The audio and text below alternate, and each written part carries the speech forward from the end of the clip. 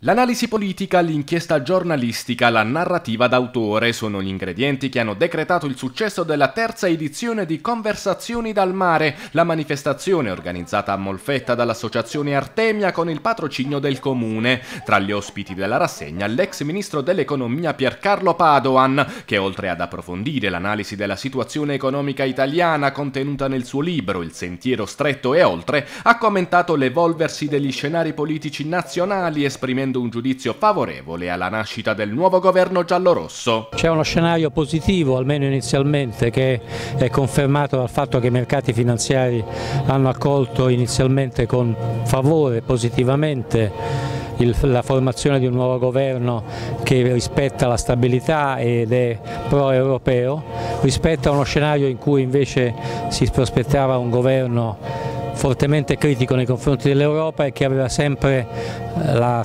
nella tasca la manovra nascosta che voleva alludere a un'eventuale uscita dall'euro come scorciatoia. Sarebbe stata una scorciatoia pericolosissima per il Paese e io mi auguro che sia ormai definitivamente scongiurata. E per una politica della concretezza invece l'ex ministro dell'interno e segretario della Lega Roberto Maroni, come spiega nel suo libro Il rito ambrosiano, concretezza sostiene che dovrebbe accompagnare anche la nascita di un nuovo centrodestra in Italia. E la concretezza è anche valutare sul piano del consenso elettorale in una nuova coalizione se la vecchia coalizione di centrodestra può sopravvivere o se bisogna cambiare e oggi bisogna cambiare. Il centrodestra che ho conosciuto io a guida berlusconiana onestamente non esiste più a livello nazionale no?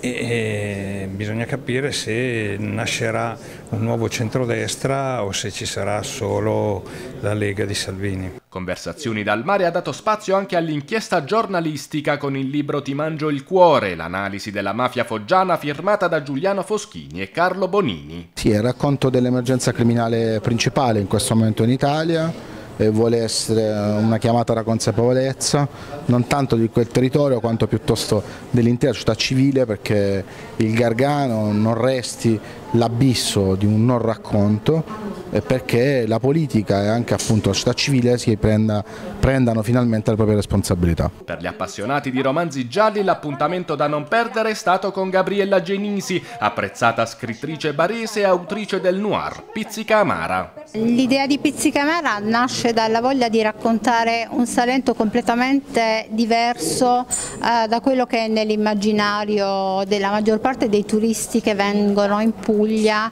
eh, cercando soltanto spiagge, estate, pizzica e divertimento. Volevo raccontare invece il Salento più vero, quello più profondo, nei suoi chiaroscuri, quindi nelle luci e nelle ombre.